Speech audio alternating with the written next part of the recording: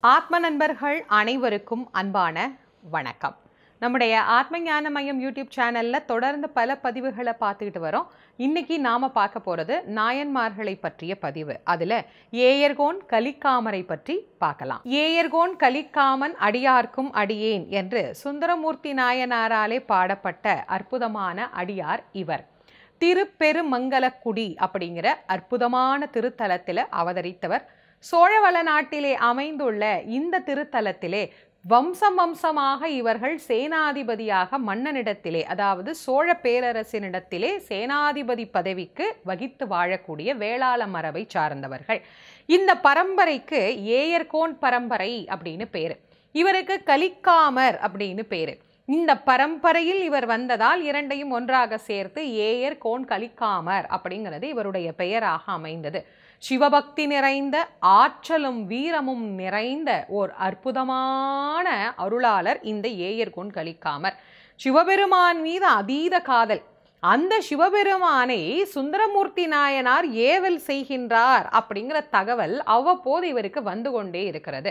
சிவபெருமானை இவர் திட்டுவதும் இவருக்காக பரிந்து கொண்டு சிவபெருமான் வந்து பேசுவதும் அப்படியே செய்தியாக எல்லா மக்களுக்கும் பரவும் இல்லை.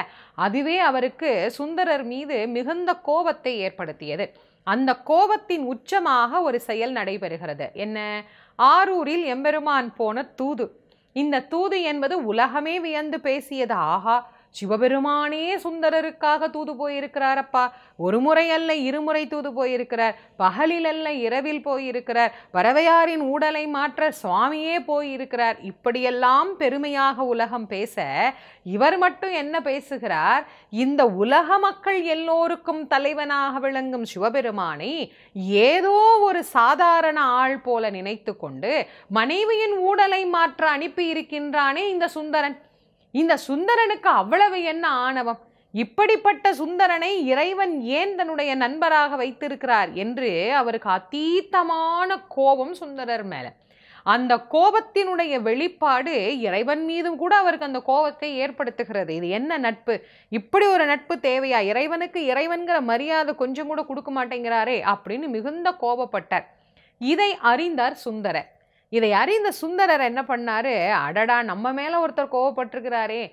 அந்த கோபம் நியாயமானது இல்லையே. அவர் ஒரு அடியாராச்சே. ஒரு அடியார் நம் மீது கோபப்படக்கூடாதே. மற்றவர்கள் கோபப்பட்டால் பரவாயில்ல.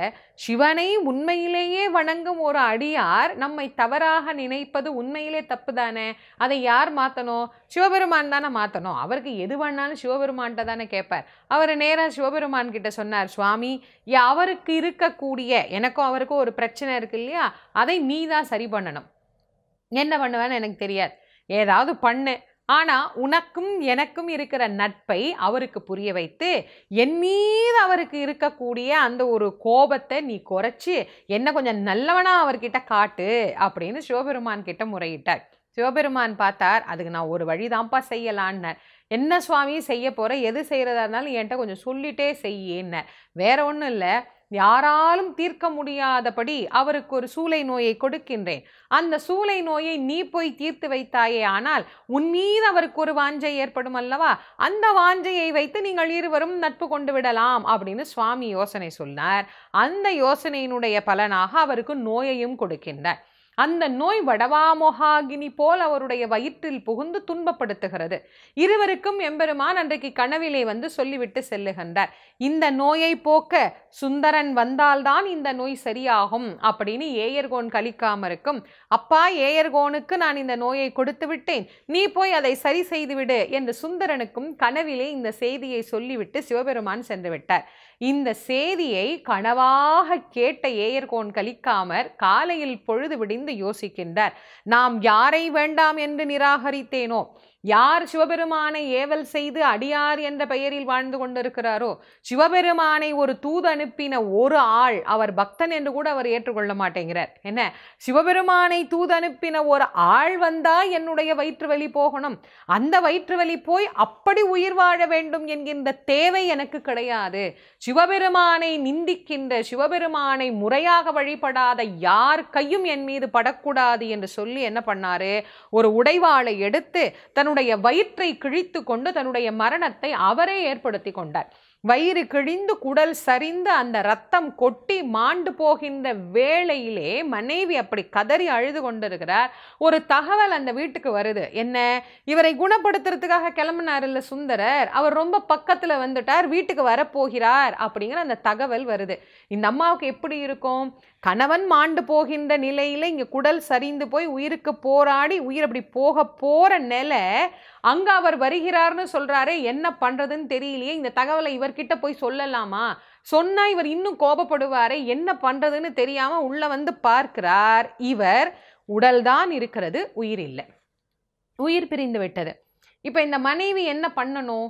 இவர் இறந்து விட்டார் என்கின்ற தகவலை சுந்தரருக்கு சொல்லணுமா இல்லையா? இல்லை இல்லை ஒரு அடியார் நம் வீட்டிற்கு வருகிற போது இப்படி ஒரு அமங்கலம் நிகழ்ந்ததாக சொன்னால் அவர் வருத்தப்படுவாரே. ஆகவே இந்த செய்தியை சொல்லக்கூடாதுன்னு என்ன பண்ணாரு? அப்படியே கணவரின் உடலை மறைத்து வைத்துவிட்டு வாசல்ல பூரண கும்ப மரியாதை எல்லாம் செய்து அவருக்கு பாதமலம்ப நீர் எடுத்து வைத்து சந்தனம் குங்குமம் பன்னீர் மலர்கள்னு எல்லாம் தயார் பண்ணி வச்சுட்டு வாசல்ல நிற்கிறார் அவருடைய பக்தி எவ்வளோ உயர்ந்தது பாருங்க. என்ன? ஒருத்தருக்கு ஒருத்தர் போட்டி போட்ட பக்தி தாங்க இந்த நாயன்மார்கள் வரலாற்றில் நம்மளால பார்க்க முடியும். கணவன் மாண்டு போயிட்டார். ஆனா ஒரு அடியார் வருகிற போது அதை தெரிவிக்கக்கூடாது என்று மங்களமாக எல்லாவற்றையும் ஏற்பாடு செய்து வைத்தார். விறு விறு விறு விறுன்னு வேகமா வந்தார் சுந்தரர். வந்த சுந்தரர் எங்கே ஏயர்கோன் கழிக்காமருன்னு கேட்டார். முதல் கேள்வியே அதுதான். இந்த அம்மாவுடைய பூஜையோ வரவேற்பையோ எதையுமே அவர் ஏற்றுக்கல இந்த அம்மாக்கு என்ன சொல்றது? ஏதாவது சொல்லணும் சொல்லணும்னு நினைக்கிறாரு. சுவாமி வாருங்கள் இருங்கள் அமருங்கள் அது அதெல்லாம் இருக்கட்டும். உடல்நிலை சரியில்லாத நிலையில் இருந்தாரே ஏர்கோன் கலிக்காமர் எங்கே அவர்? அவரை நான் பார்த்தே ஆகணும் உடனே பார்க்கணும் சீக்கிரம் பார்க்கணும் அப்படின்றார்.